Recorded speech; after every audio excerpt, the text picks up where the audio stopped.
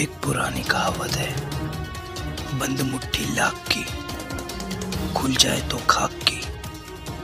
जब बोलने का कोई मतलब ना हो, जब बोलने का कोई फ़ायदा ना हो तो चुप ही रहना चाहिए, क्योंकि दुनिया का उसूल है, या तो टॉप पे रहो, नहीं तो चुप रहो। जबान का वज़न बहुत हल्का होता है, लेकिन उसे संभाल बहुत कम लोग पाते हैं।